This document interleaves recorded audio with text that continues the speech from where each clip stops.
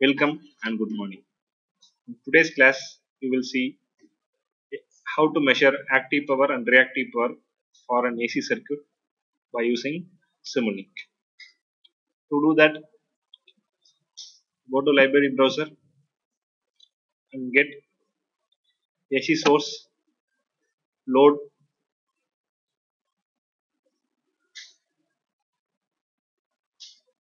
current measurement, voltage measurement and active power and reactive power measurement block. To get that, go to Simscape, go to SimPower System, go to Sim Specialized Technology, go to Fundamental Blocks.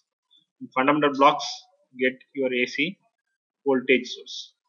Add it, then go to Elements and get your series RLC branch. Next thing we require is measurement we need voltage measurement current measurement. The next thing we require is powergui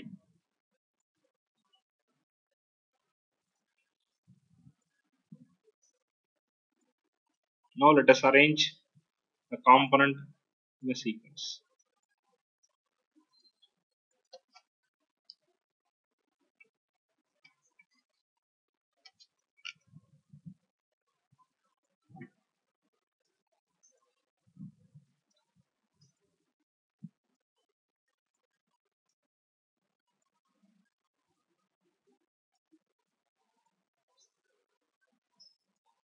and you know that to measure current value and voltage value you need RMS toolbox.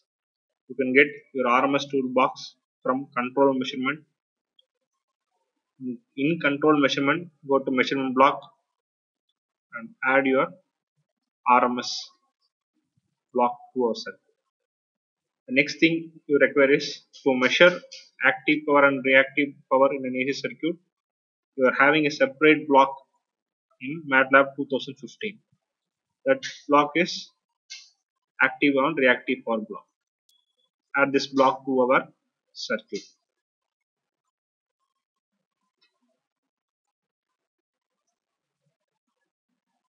The last thing we require is scope and display.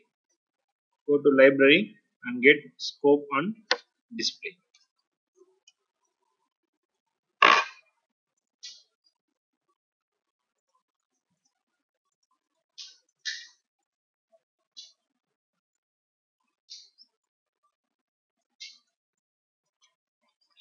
you, you need two RMS one for voltage measurement another for current measurement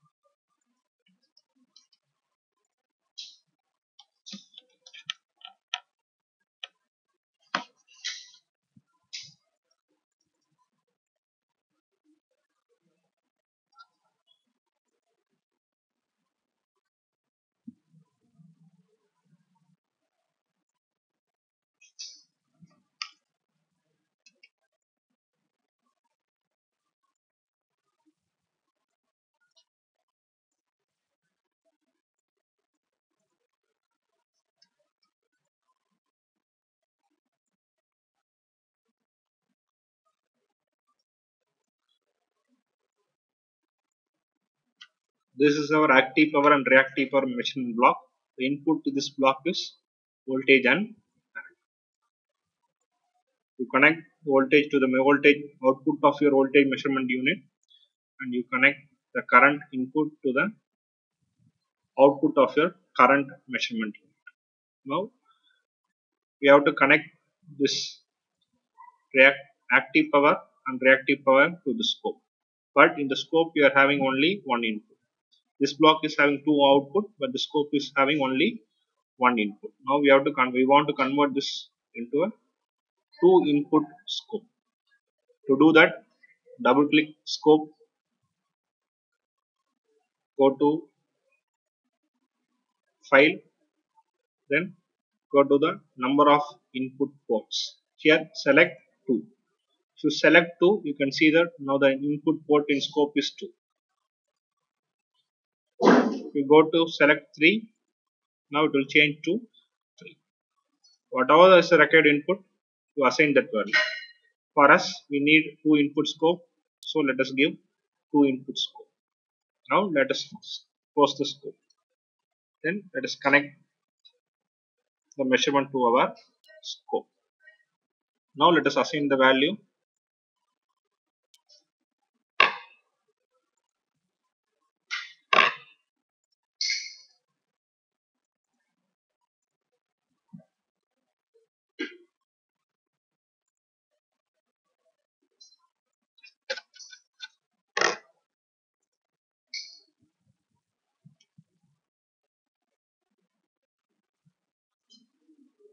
after assigning the value enter the simulation time here in previous circuit we have used the time as 0.02 second. Here use 10 enter the value 10 and simulate your circuit.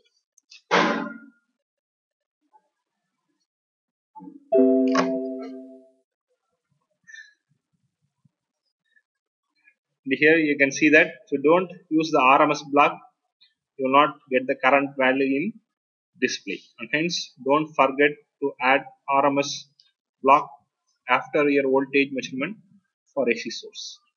Now let us go and see the waveform for real power and reactive power for this load. To see it double click the scope. Now you can see the this is your active power and reactive power drawn by the load from your source. Now you can see that you are having two waveform in a single plot. That is one waveform is blue in color and real power is in yellow color reactive power is in blue color. Now to separate this waveform go to settings. Go to settings we are having a box. Select the first two blocks. Now you can see that the scope has changed as assigned a single window for active power. Next it has assigned another window for reactive. Here you can see that the reactive power is this is your reactive power for your load and this is the active power. This is the useful power which is used by the load and this is the power that is based by our by this way we can measure active power and reactive power for an AC circuit. Thank you